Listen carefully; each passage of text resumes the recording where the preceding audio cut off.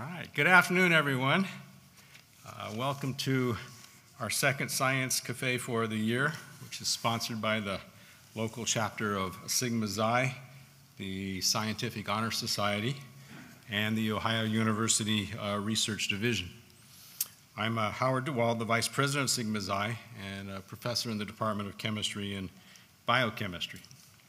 Uh, we, uh, I know we've been working towards live captioning um, uh, the videos, um, but for now, at least, we're, we're putting them on YouTube, and you'll be able to, to watch uh, within, I believe, 24 hours is, is, is the goal. Um, if there's anyone that needs any other assistance today, um, please contact me or Roxanne over here, and we'll do what we can to help you.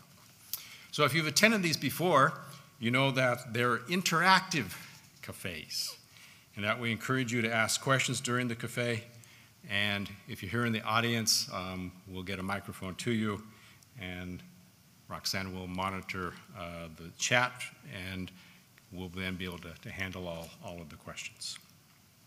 Uh, a couple of, of, uh, of, announcements before we do proceed. Uh, the next Science Cafe is March 17th at 5 o'clock in this room, be by Professor Andre Grabeau, um, who will be talking about rock and roll and the British invasion and the globalization of rhythm and blues. And then many of you may know we have a, an annual student uh, expo, exposition. This is the 20th anniversary of it. And the deadline for registering is coming up on the 20th, so that's Sunday, the 20th. And if any of you are interested in working and getting paid to help set up or tear down for the expo, please contact right over here Emily Dengler.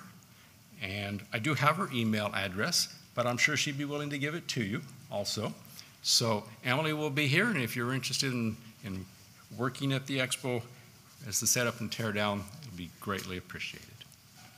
All right, so on to today's presentation. We have Professor Harvey Ballard, Department of Environmental and Plant Biology, for an encore presentation, but it'll be very different, he says, globetrotting for violets.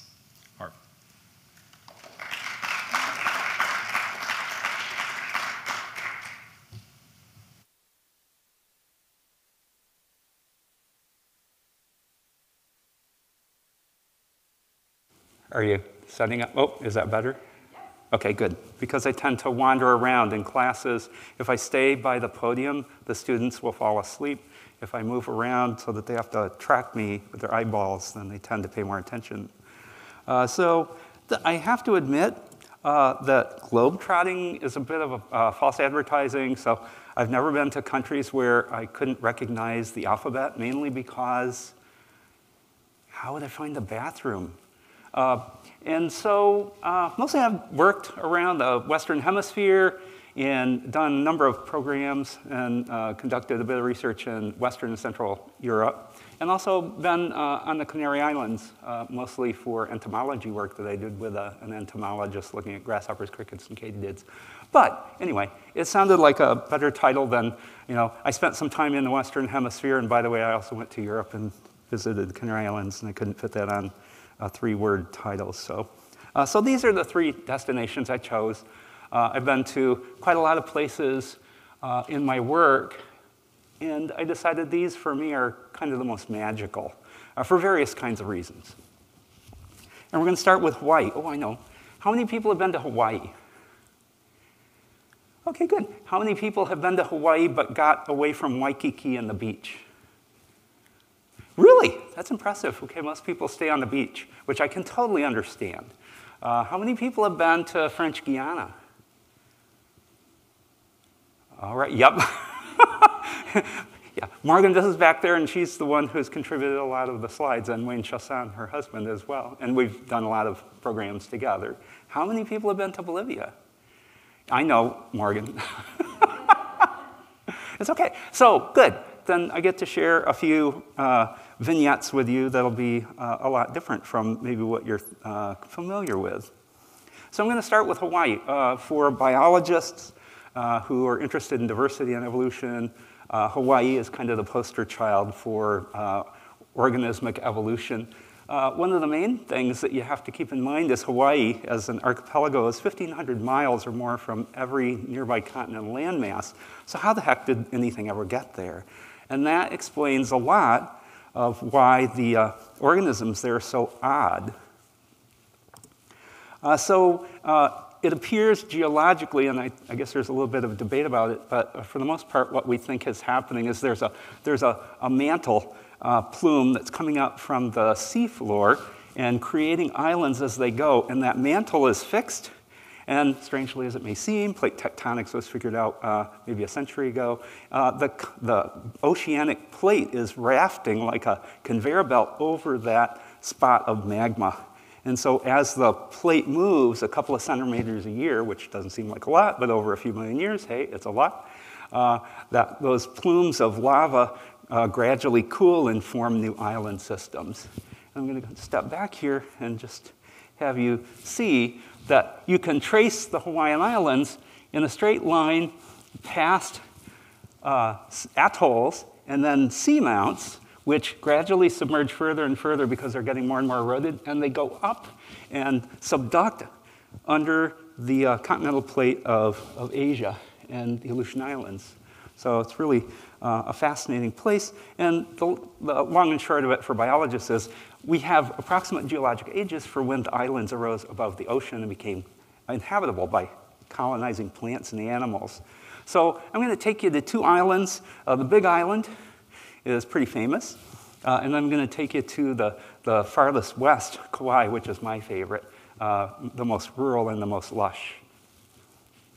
We're going to uh, just stop briefly at Kapa, Kapa'au, which was our base camp, and we're going to visit uh, a cinder cone. We're going to drive around along the Chain of Craters Road uh, to see what the lava flows are doing, because there's always lava coming down the mountain. And then we're going to stop at Mauna Kea Observatory and Hawaii volcanoes briefly. So there's a wet side and a dry side to all the islands, and the wet side is the one on the northeast side where the, the ocean currents and the rains come in. Uh, they pile on the rain uh, in the center of the island, and then on the southwest side, basically, it's dry as desert in a lot of places. Uh, so we got a little beach house, uh, not quite beach house, but almost beach house uh, at Kapa'au. And this is the lush part. There were bananas, there were oranges, maybe there were coffee beans, I can't remember, and avocados. Uh, this is the second, or the original sculpture of King Kamehameha uh, that was lost as a boat went around the tip of South America originally. And then the sculpture, uh, sculptor ended up making a second one, which is over in Waikiki along the beach. Uh, and then they were able to get the first one out, and so it's over, over at uh, Kapa'au. Uh, King Kamehameha was the first one to really mobilize the Hawaiian Islanders and bring independence to Hawaii from uh, a lot of different international rulers. So this is the dry side. Now, if you were with us and you left the bed and breakfast and you went around the, the corner, the, the tip of the Kohala Peninsula, it would often be raining. And then you would get around the corner of the peninsula, and within about 10 feet, the rain would absolutely stop. And this is what you see it's, it's the most abrupt climate transition I've ever, well, I can't even call it a transition. It's like an on and off switch. So here's the island's dry side. Uh, a lot of cattle ranching happens here. Uh, and then uh, you see these little cinder cones. These are basically mini extinct volcanoes. Uh, and on those volcanoes uh, are some really weird, weird plants. Some of them are extremely rare. Isodendrion hosakae, uh, you don't need to, I won't be uh, testing you on the Latin names. There's not even a common name for it except in Hawaiian. And this is a shrub, a violet shrub, and it has a few populations and the rest are extinct. So just about every species in this tiny little genus of about four, uh, four different species are, are endangered in Hawaii or on the brink of extinction. And you can talk about that with a lot of uh, species in Hawaii. So we're uh, driving now around the uh, chain of craters road. on the east southeast side of the island. And they constantly, you can go on the web and find the current status of what the road's like given the lava flows. And, you know, every week they have to go out with bulldozers and clean the road. Uh, and, and so this, uh, it was closed when we were there early on, and then it had opened up, and we were finally able to drive out. So if you look, some of that is dirt behind that car, and the rest of it is actually steam from the lava that's still cooling. Uh, so pretty interesting. And then the lava is going out to the ocean and, and creating more Big Island at the moment. Uh, up on the top is where the lava comes from, so there's a huge crater on uh, Mauna Kea uh, in, in, the Volcanoes National Park. It smells like rotten eggs because there's a lot of sulfur, and of course, you don't want to fall in there or you might become soup or something. Uh, now, what happens with some of the lava in some places on Hawaii is that the top surface of the lava cools and forms a skin, and the molten lava continues through and then creates what amounts to a, a reverse hot dog. Uh, and so the, the magma finishes flowing through, leaves a hole, and then you get these weird lava tubes around different parts of, of the Hawaiian Islands. So here we had a, a package tour uh, from a hostel that we were staying at. They took us through a lava tube. What makes the lava tubes really interesting is that there are weird uh, critters, uh, insects that have been found nowhere else in the world. Uh, a few plants grow there uh, because it's moist and uh, a weird, uh, comfortable environment for them. And then paleontologists have discovered fossils of extinct flightless birds and other animals that were around prior to the Polynesian migration that formed the Hawaiian Island culture. Uh, and uh, they think that uh, right around the time the, the, the, original Polynesians moved into the islands, those went extinct. So it's really kind of cool, uh, a very strange environment that has a lot of biological significance. And then if you happen to get on the tour too, you can sign up to go to Mauna Kea uh, Summit Observatories. Uh, this is the summit above the clouds most of the time. There are 24 telescope observatories uh, that had been administered and built by a bunch of different countries. Uh, and so you can go there in an evening, you can see the sun westering uh, with some of the uh, telescope observatories. That's Mauna Kea, that's actually the highest point uh, that is untouched because it's sacred uh, to the islanders. And then there are a handful of altars or ahu that the islanders have built in order to provide offerings to the god Mana. And then also you get these odd plants. So this is one of the famous Hawaiian silver swords that grows up to eight or 10 feet tall when it's in flower. So we're going to switch to the, the westernmost uh, public uh, publicly available island, Kauai. Uh, this is, as I said, my favorite. Uh, the pace here is much slower, much more rural, much more lush because it's had a chance to, uh, to weather as far as the peaks go uh, but still pretty rugged. Uh, you fly into Lihue, which I didn't even mark, uh, and then you immediately find someplace else if you can. Kapa'a is a nice village to go to. Uh, it's laid back, it's kind of quirky, uh, reminds me of a minuscule Athens, uh, has some nice places to stay. and then because the road does not continue on the northwest side, that's the Napali coast, the road does not go there, it's a national park, you can go up and over, or you can go down, over, and up uh, to get around. And so that's what we're going to do. We're going to go up to uh, Limahuli Botanical Garden first. Are there any questions so far? I'm going, I feel like I'm doing a lecture and speeding through the material. Okay, that's good. There'll be a test. Uh, so Kapa'a is right on the beach. Uh, and it really is a, a, a really cool little village. Uh, you can walk around. Uh, we rent, I don't know, Morgan, I was thinking that we got double bedrooms for like $45 in 2001. I, I, went on the web and checked some of these. Uh, somebody bought it a little while ago and renovated it, and now they're $700 a night. So we're not staying there anymore, uh, unless the university wants to kick it. Okay, oh crap. Okay. So I guess we'll sleep on the beach. Um, here you can often see some of the local fishermen getting their food for the day. Uh, and there are feral chickens all over the place. You just kind of have to get used to hearing roosters calling at 4 a.m. It's very annoying. Uh, we're going to take off and we're going to drive around the island. Now, this is Google, Google Maps. You have to remember Google Maps does not factor in humans. this road is a two lane road, and it gets worse the farther you go north and west until you get to Hanalei. And remember, there are like boatloads of people at all times of the year there. So you really need to basically account for two hours and lots of stops, and you can't be impatient. You just can't.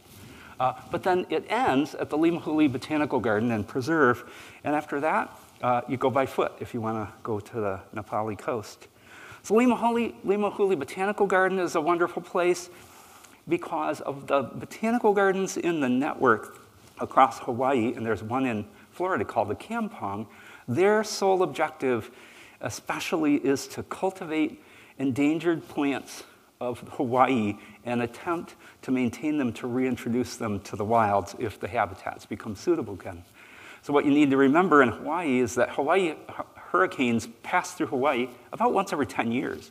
When they go through, not only do they cause horrible human damage, but they slough off a lot of the cliffside vegetation and can damage a lot of the very uh, uh, rare and fragile uh, communities that are in other parts of the island. So some of these plants basically uh, number a few individuals in the wild and they are otherwise extinct. So Limahuli does that. The other thing that they've gotten into in the last uh, couple of dozen years is to help educate people on how traditional taro farming was done and is now being done uh, by the Hawaiian Islanders. Uh, taro is an important starch crop. Every culture in the world has some kind of a starch crop. Ours is French fries. Uh, the Andes is French fries, uh, rice in the lowlands, and so forth. The taro is a, is a common Pacific starch crop. So taro farming has become uh, more and more popular, and they kind of help take the lead on educating people about that. These are some of the plants. Uh, uh, Hawaiian lobelia, which is almost extinct in the wild now. This thing, which is called, when I first saw it, I thought, that looks like a cabbage on the stick. And it turns out that's the common name, cabbage on the stick. Uh, and I don't know if you can see the flowers, but they have a really long tube, about 15 to 20 centimeters long. And uh, a researcher, a young researcher, just recently started studying it for the floral traits uh, because there was a debate among biologists about whether there's an insect that can even pollinate this thing. They haven't seen any kind of insect on the plants that are still on the cliff sides uh, in a couple of islands for many decades. So this thing is not able to reproduce. I hope you can see me, Kevin. I- have got a question. Yeah. From the audience. They want to know, on these islands, ooh, how did the plants get there? Oh, good question. So, uh, researchers have been spending quite a few decades, and especially with the advent of DNA, access to DNA markers, uh, we have some good answers for a lot of the plant groups. Uh, biologists figured out that of the 1,800 native plants in Hawaii that live there, they arose from about 270 different colonists, original colonists that were able to get there and then also survive. And then a lot of them diversified into whole lineages of plants that are only found on, on Hawaiian Islands. The, the main ways that uh, biologists have interpreted those organisms got there is birds, either in them or on them, so think mud or guts, uh, drifting uh, on the ocean uh, waves, not too many do that. Uh, a lot of times seeds will get caught in the feathers of birds too, uh, and wind. So those are the main ways that uh, organisms get to the islands. Now, the, the other thing about oceanic islands like the Hawaiian Islands is that they very rarely, if ever, have bigger mammals or other animals. So there are no native reptiles or amphibians on the islands. Uh, there are no uh, birds got there, and there are all sorts of you know, diverse lineages of birds. There are a lot of weird insects there. So uh, some of the biologists call the, the organisms, biota of these oceanic islands disharmonic, which means there, they, there are a lot of plant groups and animal groups that never made it there just because of the lack of opportunity for dispersal. Whereas if you looked at islands closer to the continental man, landmass, there would be representation of, of most or all organism groups. So, so read about, if you want to, read about the cabbage on the stick. Uh, uh, quite, for quite a few decades, and, uh, these things have been found on the cliffs of Oahu and Kauai and Niihau, which is a, a not public island uh, further west. And, uh, and botanists have had to rappel down and literally hand pollinate these things because the insect pollinators have not been uh, rediscovered in, in decades. So uh, we're going to head up to uh, Waimea Canyon and beyond. So that means a long drive. And again, Google, God bless Google Maps, says an hour and 22 minutes, and that's driving at the speed that you don't want to be driving on some of these roads. So figure three hours, because that's really how long it takes. Waimea Canyon, I, I had never seen the Grand Canyon before I went to Waimea Canyon. And it's impressive all by itself. It's this gigantic erosional feature and honestly, it looked like all the postcards I'd ever seen about the Grand Canyon, just maybe not as deep and wide. So um, we went, uh, we drove up the, the road there, and what do you think? I mean, I'd say that's pretty darn impressive. Um, uh, and also dry like the Grand Canyon. Again, maybe not as deep, but pretty spectacular. Uh, and there are a lot of plants and the animals that have evolved to be adapted to those drier conditions, including, oh my gosh, look, it's a woody violet. All right, you're not very excited, but I'm pretty excited. So, what you don't know is that in the Hawaiian Islands, nine out of the 10 species of violets in Hawaii are woody. Uh, most of the most primitive violets in the world, basically in South America, are woody uh, or kind of woody. So uh, that actually led a lot of folks to say, okay, the Hawaiian violets must be very ancient. And with our DNA data, what we found is these things are actually most closely related to an Arctic tundra bog violet complex. Uh, and then we started doing more work and worked out that tundra bog birds, like the golden plover and the wandering tattler, do you love those names? Uh, and the ruddy thighed curlew, I think, uh, they, they arrive in Hawaii by the millions in the, in the, the off season. They breed in the Arctic in the summer and they arrive in Hawaii and point south later. And those would probably have been birds to uh, carry the seeds of, of the ancestor to the Hawaiian Islands.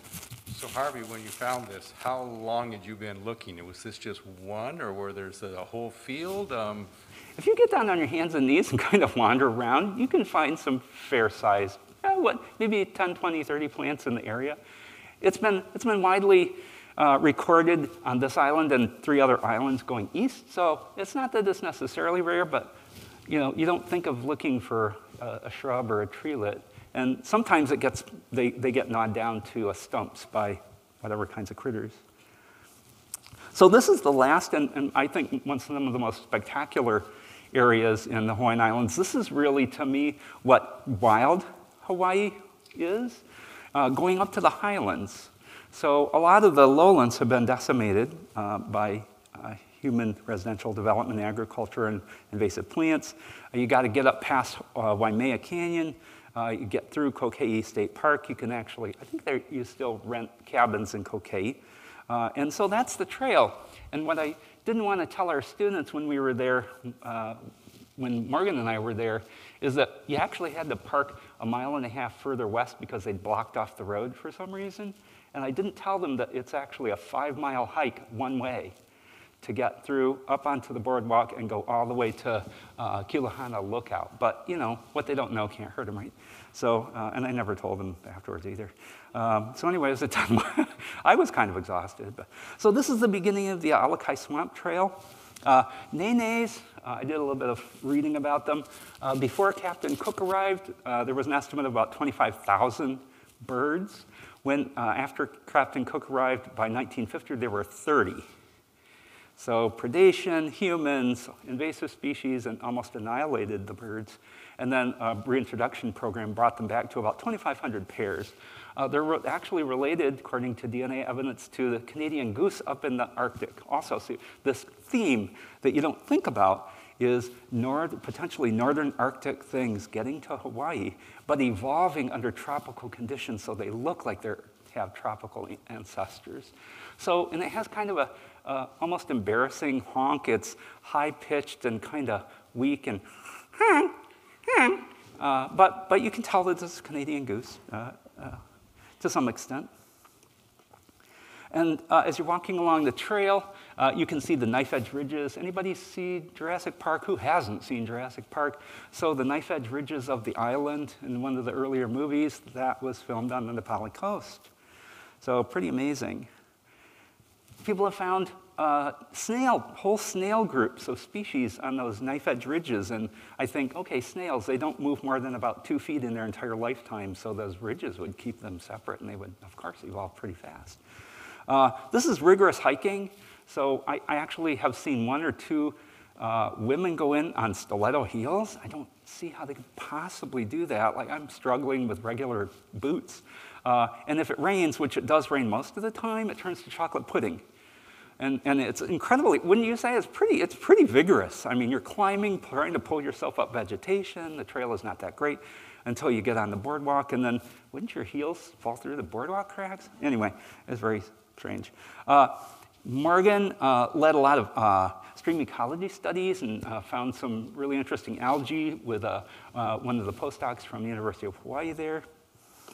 and then there were all sorts of plants, and I'm not going to talk about them, but uh, so pretty diverse. Uh, again, lots of amazing uh, viewpoints. And then you finally burst out onto the, well, slump, pulling yourself out onto the boardwalk. Uh, so there's, there's basically a couple of miles of boardwalk you still have to walk to get to the other side. Uh, but this is the high elevation bog with swamp forest surrounding it. So this is where you really see some of the last vestiges of wild Hawaii. Uh, there are lots of species that only grow here uh, and nowhere else on the islands. So there, there are species that uh, only occur otherwise in New Zealand and Australia, growing next to sundews, which occur in boreal North America and Europe. Uh, growing next to things from Asia is just the weirdest thing. Uh, quite remarkable and more violets. So there's actually a species of bog violet that will only grow in the open and on the very edges of the swamp forest scrub. And then there's another violet, Viola wailenalenae, wailenalenae, took me like six months to figure out how to pronounce that. Uh, and it will only grow in the swamp forest. And you can find hybrids every so often where the two species come together in the, the edges, but that's it. So pretty amazing. And where does all the water come from? I mean, this is a huge watershed. It comes from the mountainside, or the mountain tip, right in the center of the island, where the average rainfall is 31 feet.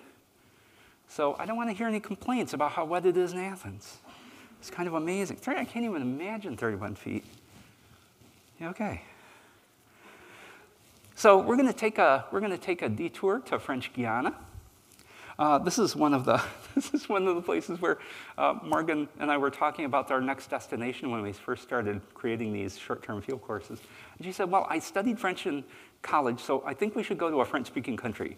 And we were like, "Where do they speak French in Latin America?" I know French Guiana, so that's how we picked it. And it turned out to be an amazing place, uh, incredibly, incredibly diverse.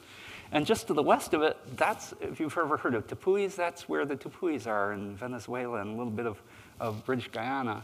Well, not British Guiana anymore. So this is, this is where most of the publicly available land is right along the edge of the coast. Uh, you can get little roads in a little bit, uh, little ways, but basically, if you don't have a plane, and they don't really run very often, I think I remember checking, it's practically never. Then you have to hire, getting on a dugout canoe with some of the local tribes, and you travel in for a day or two, and you might get further in. Uh, and so we stayed in Cayenne, and then we uh, made a day trip to Cacao, which is a, an immigrant Laotian village. Uh, and then we traveled to Saint Laurent de, Mar- de Maroni. I always want to call it macaroni for some reason. And then we actually had a couple of days to, a few days to go down to Chutes Voltaire, uh, to a little ecotourist lodge in the middle of the rainforest. So this is Cayenne. It's really weird.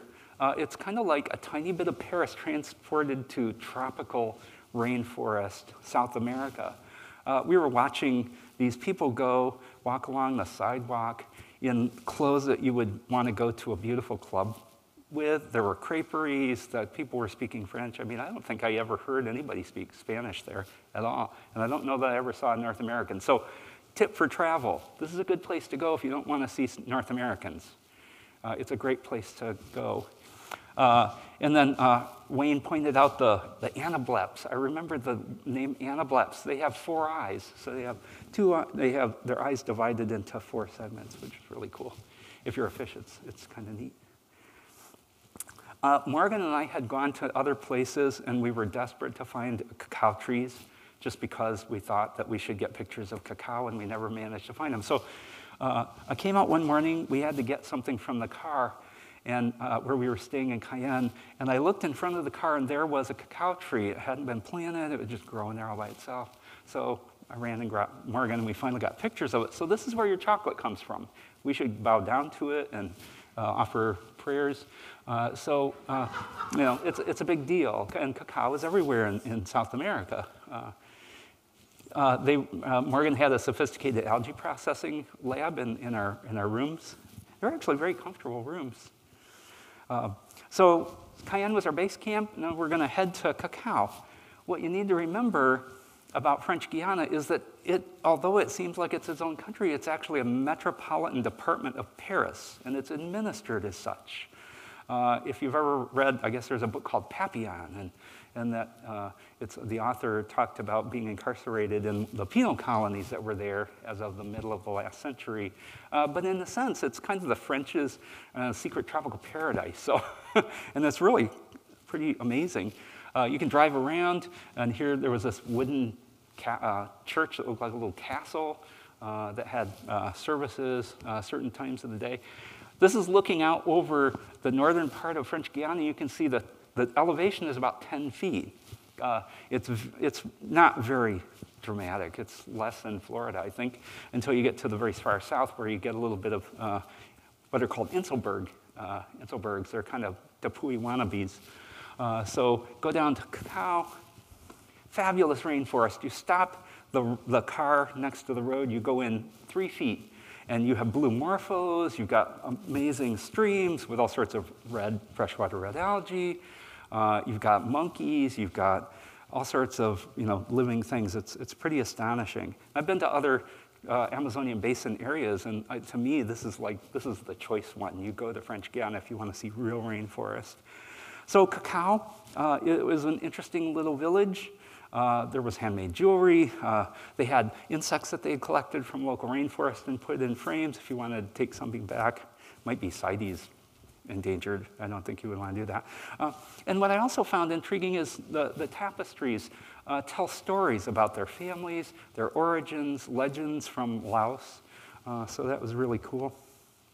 And then there was an insectarium where they had a lot of other insects that had been collected from local forests and also garnered from other uh, collectors from around the world. And there were, did you, did you bully Wayne into holding the tarantula? I can't remember how that happened, but he wasn't happy. He, he's looking like he's smiling, but I think he's, and then look at the guy with the bugged eyes. He's, he's obviously not into that either. Uh, and they had, a, they had a small boa uh, that was really cute. Uh, it was very harmless. So we traveled around French Guiana, uh, the northern parts. Oh, yeah, go ahead. Somebody wants to know, besides the insectarium, did you actually run across critters when you are out hiking? Um, my problem is, is I'm a botanist, so it takes me an hour to move more than 10 feet. I mean, seriously, you know, we'll get on our hands and knees and look at some scruffy little fern, and then, you know, by then, all of the animals within a, a league of us have already departed. Uh, I've seen butterflies, you know, the monkeys were pretty obvious. Um, when uh, Morgan and I had done the reconnaissance for the French Guiana trip, uh, we were, I remember that was when we discovered at night that we were, had, both had bad night vision. Uh, we'd driven like 50 miles along this road and it ended in this chewed up place that uh, logging trucks had gotten stuck in, and it was like five times bigger than this room, and there were no outlets. And then it was getting dark, and I turned to Morgan and I said, Well, I don't really have good night vision. I hope you, you can drive us out. And she said, Oh dear, uh, so, and on our way back, we ran into an, uh, an, uh, a, a, boa constrictor that looked about eight or 10 feet, but it was dead. Uh, it was off to the side of the road. A logging truck had apparently run it over. So there are a lot of critters out there. You just have to maybe not be a botanist and you'll see more of them. Uh, just a few things that are characteristic of what I call rainforest syndromes. So, a lot of the trees in the rainforest, in the tropical forest, are going to have buttresses because most soils of tropical systems are very thin and the bedrock is close to the surface. That's because the soils themselves actually have a lot of the organic matter going right up into the, into the forest vegetation. It's, it's consumed very rapidly. Remember, high temperatures, a lot of moisture, everything's getting consumed.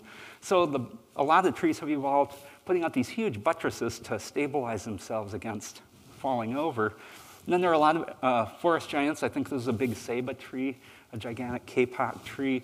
Uh, and the other thing that you think of is uh, when you go to the tropics, which we don't have here, we have grapevines and poison ivy and is there anything else that is like a woody vine? Down there, up to 30 to 35% of the species diversity in the tropical rainforest is in epiphytes. So bromeliads and orchids and cacti and ferns and, uh, and dozens of other plant groups live only in the canopy. So it, it's a different kind of world.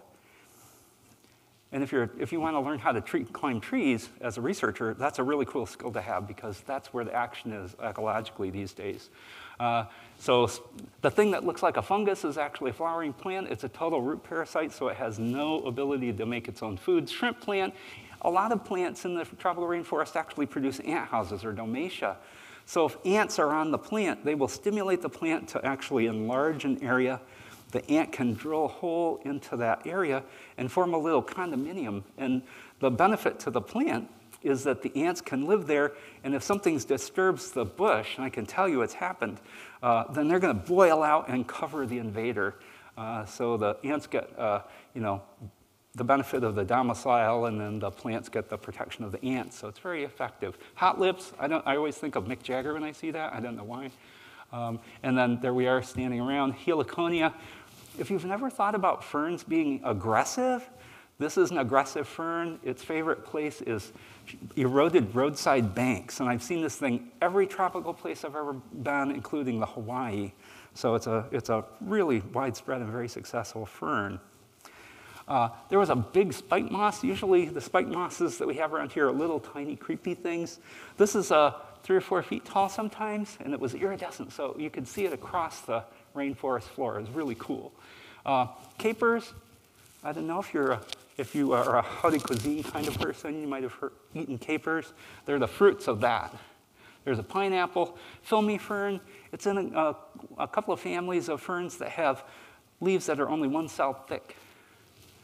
Uh, and then these are the innards of Brazil nuts. I don't know if you've ever seen Brazil nuts, but once they get pollinated, they lose their innards, except for the part that makes the nut. And that's what those are. Those are a bunch of uh, male reproductive structures all fused together. And there are violets. Look at these. These are crazy. So Amphirrhox is a canopy tree that gets a foot to a foot and a half in diameter, uh, trunk-wise, and then will go up 30 to 40 feet. So that was really exciting. Uh, we managed to get a few branches of that by using a Costa Rican botanist technique of shooting a, what was it? It was a flexible chainsaw blade that we tied to a string and used a slingshot, not very effectively, to get the branch down. Uh-huh. Good. Different, different, uh, uh, different genera or species groups. So these are actually all trees, and in the violet family, the most primitive groups in the violet family are all trees, shrubs, and vines. Mm-hmm. So the little herbaceous things that you're familiar with, viola, uh, are actually a, a, weird derivative. I mean, it seems like the you know, most common and widespread thing to us, but it's actually a weird derivative that's made it into the temperate regions and up into the mountains. So this is just, this is really cool to me. Uh, and maybe one other person thinks it is too. Uh, so as we were driving from Cayenne West to Saint Laurent de Maroni, if that's how you say it, uh, we happened to see this church. And we stopped and went in, and it turns out this was a church where the prisoners at the penal colonies were brought in, the ones that showed artistic talent, and they made frescoes. It's a pretty amazing, it's a pretty amazing thing. They, they, they created elaborate frescoes in this church over a period of, I don't know, decades or something like that. Uh, and then there's the, the defunct uh, prison buildings there. From uh, Saint Laurent, we, uh, we managed to make contact with a guy uh, at Chutes Voltaire. So this, thing, this guy uh, has a little lodge in the middle of nowhere. And the only way to get to it is to ride his truck, basically, or get on a timber truck, which, of course, we couldn't do. And the only way to reach him was on Wednesday nights from 7 to 8, because he only had a satellite phone, and that's the only time he could make it work. But when we got there, we didn't know how to get in touch with him. We went to the bakery. I don't know how we ended up at the bakery, maybe for breakfast or something. And we, do you know? You're always at the bakery. Oh, okay. I was kind of hoping not to mention that. I'm all about food, I can't help it, but especially baked goods. Uh, so, yeah, we went to the bakery, and then we happened to mention well, I, I, don't speak French, so Morgan and Wayne were mentioning in French about, you know, we were hoping to hear from this guy. And she said, Oh, just stay here because he'll be here in an hour. He always comes on uh, Wednesday mornings to get his bread stuff for the restaurant. Uh, and so I think we either waited or uh, he came down, and there was his truck, and so he took us up. Uh, and uh, Morgan is, it looks like Morgan's smiling, but I don't think Morgan is smiling. I think she's grimacing because this was a really rough road. Uh, and I don't think that it would pass any kind of legal standards uh, elsewhere. Um, and it was, it was like, kind of felt like two or three hours of steady driving on this really bad road, a logging road essentially. And then we finally got out. After people got out of the truck, they were like, their legs were jiggly and thought people were going to keel over. But there's the, there's the hostel. It's kind of a hostel.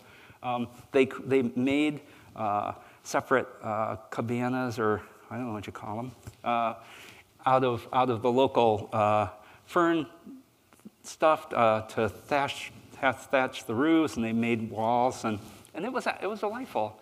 Uh, and the guy actually would go out into the rainforest and catch some of the local game and make, make supper. so there were people from all over the world there uh, mainly Europeans and, and, Australians and other folks. Uh, this dog was an evil creature. If you got within like 20 or 30 feet of him, he would just stare at you and start growling.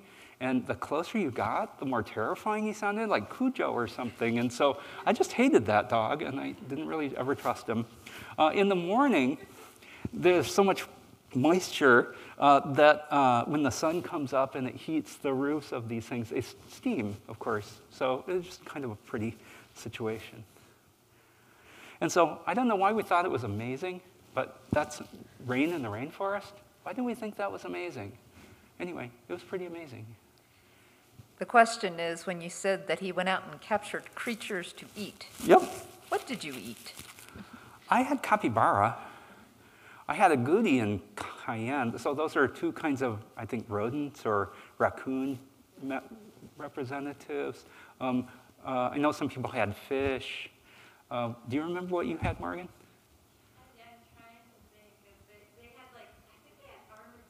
Armadillo. Mm-hmm. Yeah, I mean, to them, that's just kind of average, normal, you know, chicken. Tastes like chicken. Uh, but, but it was, it was, it was pretty wild. Uh, and it was really good. I mean, you know, they were, they were really good cooks. And uh, of course, because we stopped by streams and there were streams everywhere, man, you found all sorts of algae. You've got a lot of batrachospermum. So Morgan's a freshwater red algal specialist, uh, one of a handful in the world. And, and every, everywhere we went, every stream we got, I think it had something really interesting. That tells me I got to, okay, stop. Shut up. Thank you. So uh, just to tell you that we do see animals when we go, even though we don't know that they're animals. So the bats and heliconius butterflies. Uh, we saw a few monkeys, uh, lizard and, and turtles. Uh, one of the drivers that was taking us around uh, pulled out his machete, and I was worried for just a split second, and then he pulled out pine, uh, coconuts and, and, and hacked off the coconuts. So here we had a chance to, oh yeah, here. So, and here's another animal thing. So what you got to remember is this is a quick time movie. So this is three times normal speed. And this giant tree sloth had fallen out of a tree somewhere and was trying desperately to cross this road. And there are huge timber trucks and cars going everywhere, and we're terrified it's going to get smattered. Uh, and, uh, and it looks like a, it's the size of a sheepdog, and it looks like somebody took carpet and glued onto a sheepdog. It, I mean, uh, its mother probably appreciates it, but it, it was. So I'm going to take you to Bolivia now. So are we doing okay on time? Okay. Uh, to me, this is one of the most amazing places because you not only have Amazonian basin rainforest at sea level or below, uh, but then you have the Andes going up to the Andes, and then you have this huge plain at about 4,000 meters, 12,000 feet, called the Altiplano. So you have this ridiculous range of temperature extremes and climatic regimes. And people have adapted to live in all those areas. So there's the Altiplano. It, uh, it uh, stretches over three, three countries. It's huge. That's what the high cold desert looks like. Uh, so here's, the, here's a map. Uh, we've got La Paz, that's our kind of home base. And uh, we're going to take a, a, a, few day trip up to Sorata, which is kind of nestled in the higher elevation Andes, so off the, off the Altiplano, but in the higher elevation Andes. And then we're going to come back and we're going to take a week and go down to Coroico, which is subtropical. And then our last few days, we're going to go over to Copa, Copacabana. This is not Barry Manilow's Copacabana, I assure you, uh, and hang out on Lake Titicaca. What's crazy about La Paz is it's seven miles long and it sits in a trough between the Altiplano and the, the flanks of the Andes. So it's just this really odd place. And here you can see this is a little tiny bit of La Paz and it just stretches out.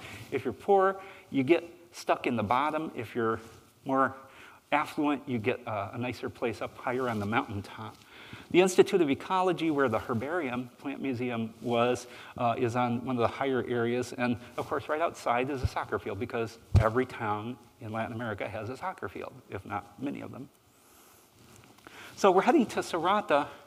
Uh, and we've driven, we've gone past Titicaca. Uh, Huayna Potosí is one of the favorite mountain climbing areas. So if you're an, uh, if you're an avid adventure person, then you should go to Bolivia to check out the mountain climbing. You should go to Bolivia to check out the whitewater rafting because all of that's amazing. The hiking is amazing.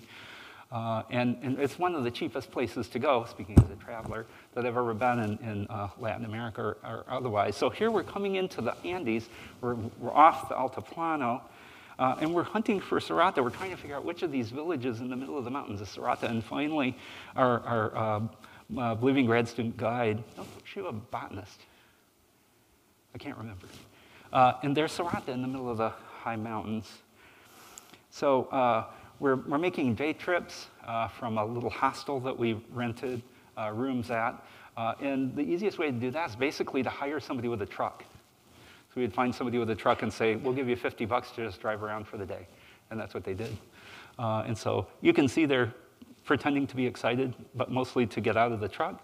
Uh, and we saw all sorts of streams. So remember, you know, the mountains are just cascading with water everywhere. Uh, this is not nearly as cold as the, uh, as the high elevation Altiplano. Um, so uh, we don't have very, very, many pictures because we're busy actually studying the plants and, uh, and the algae. Uh, and so another trip that we're making is to Coroico. This is a subtropical area. It's halfway down the Andes. Before we got there, up until recently, uh, they had closed the road because, I probably shouldn't say this, but it's 20 years, so uh, statute of limitations have passed. So, because buses and cars were falling off the mountainside, the road wasn't really good. Uh, and then they decided, uh, they, they, they, fixed the road, and then they were, opened it on one side, and then finally they opened it on uh, both sides again. So we felt very safe. Uh, and we got on a bus, uh, we, got, we took a, a hired bus.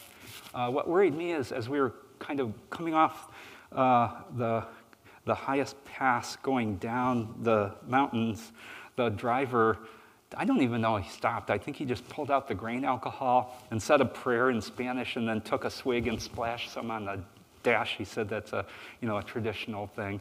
And I was kind of more worried about, you know, his driving watching him drive.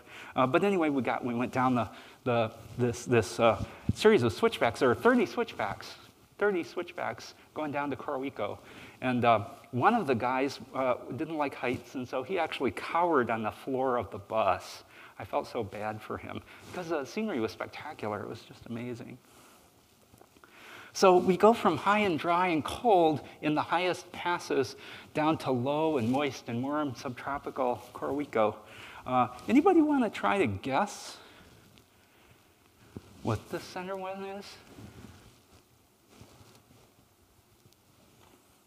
Small coca plantation. So in the mid elevations and higher elevations, a lot of the locals grow coca for their own use.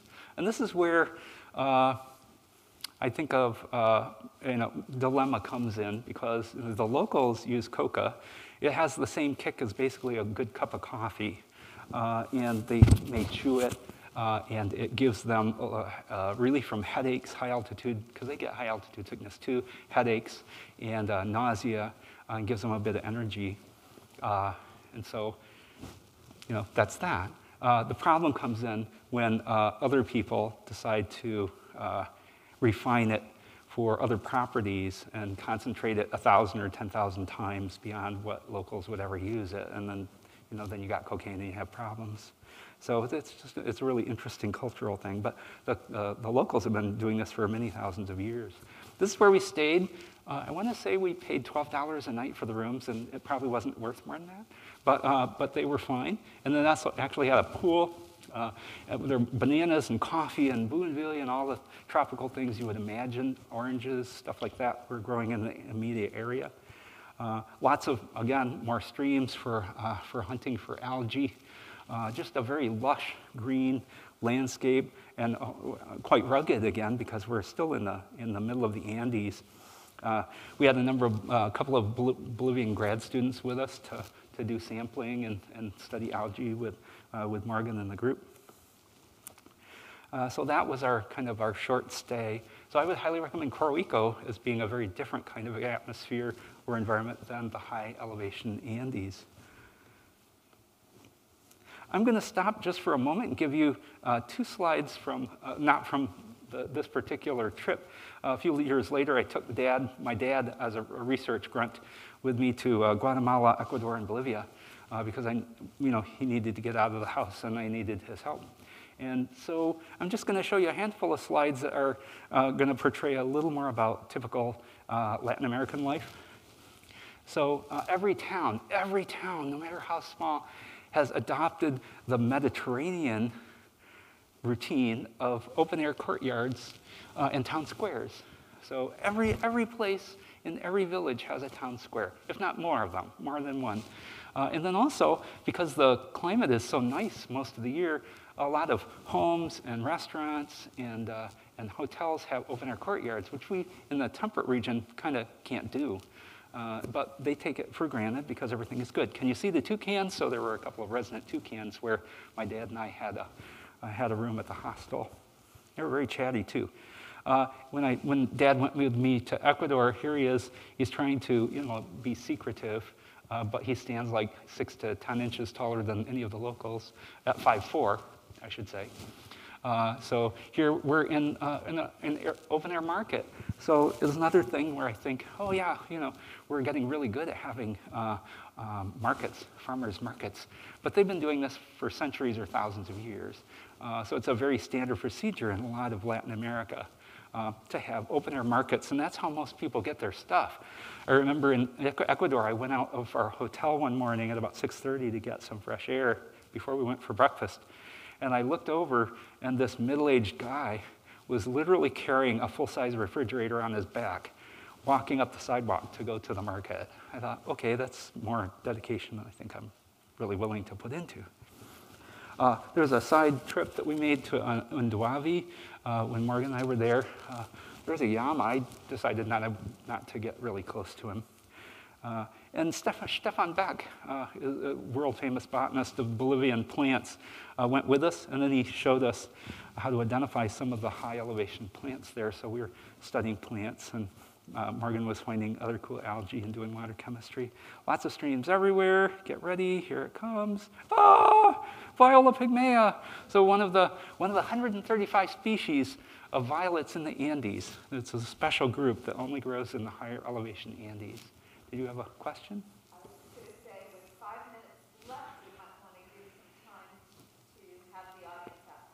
Sure. Do it. Okay, I'm just going to keep on going. I only have a handful of slides. This is Copacabana. So I think by the third week, Morgan and I were so exhausted taking 24 students around Bolivia that we kind of, I didn't take very many pictures, and I don't think you did either. So there's just a handful of things. But this is Lake Titicaca. So uh, there's a ferry crossing, which seems straightforward, except uh, everybody drives their. Oh, here's what you want to pay attention to. So you can see it's landlocked. This peninsula that has Copacabana, Bolivia, is landlocked. the Peruvians don't like them to come over that. So, so the way to get to Copacabana is you drive to the end of the road, and then you have to take a ferry with whatever vehicles you got, and then you drive over to Copacabana. And that seemed perfectly logical.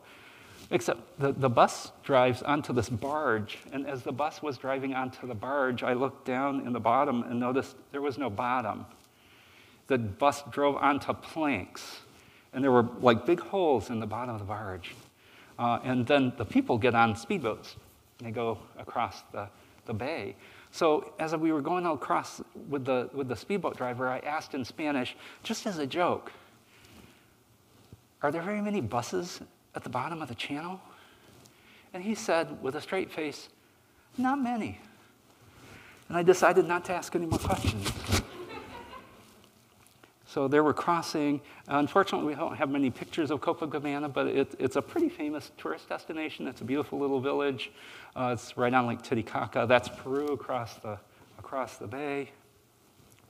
We managed to get to the tip of the peninsula, walking along that Inca uh, there's an, a famous Incan road that's still around, and we took the ferry up to Isla del Sol. This is the legendary birthplace the Incas believed was where they originated. Uh, so it's a cool little island with lots of terraces. And this is uh, a traditionally dressed Andean woman. Different tribes in the Andes have different uh, color patterns and different patterns of how they wear their clothing with multiple aprons and stuff. But it's very typical. And you can see she's kind of a short person because they all are in the Andes pretty much. And she's got an alpaca, which is the higher elevation version of the llama. So that was, that was really cool. Uh, and following the advice of the, our Bolivian guides, we first asked if we were allowed to take a picture because a lot of the folks are superstitious that the camera is capturing parts of their soul. So you have to ask people. And then if they say yes, it's also a tradition to give them a little monetary gratitude. Uh, so we gave her a nickel, and that was that. Um, I'm just going to put this up here because if you're a student and you haven't done any study abroad, you need to go talk with those people immediately. If you're a faculty member and you haven't led any international courses, you need to talk with the Office of Global Opportunities to find out how you can do that. Um, I've been fortunate to do 16 short-term field courses and help to direct or co-direct three longer-term ones. And I can tell you that it has really changed my life in lots of different ways. And I'm not going to tell you because I want you to figure that out for yourself. Uh, so at that point, I'm just going to release you from bondage and, and let you ask questions.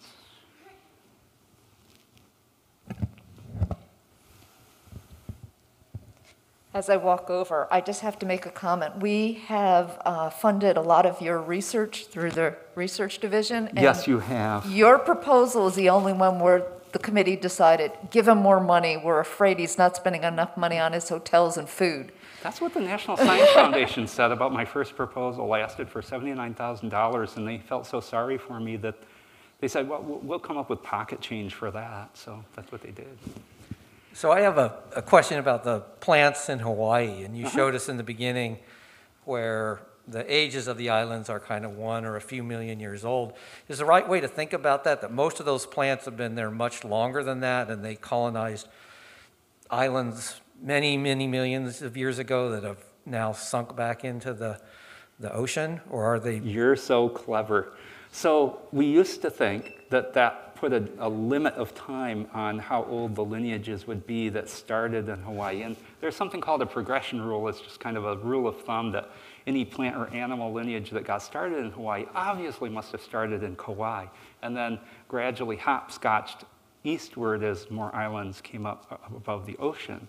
There have been more than a couple of studies to use molecular markers and molecular dating that found out those lineages predate Kauai by about 10 million years. and that there's no reason to really assume that Kauai was the, only, the first one in the Hawaiian island chain to be colonized. So I think more and more people are doing sophisticated analyses with fossil dating and discovering that Kauai isn't the only first, you know, likely candidate. For some groups also, like the Hawaiian Drosophilas, there are 450 species. And uh, an old guy, I shouldn't say old because I'm old now, a guy who studied Drosophilas using salivary gland chromosomes, actually worked out their evolution and said, no, it's not Kauai as the oldest place, it's Maui. And they radiated going west and east after they got to Maui.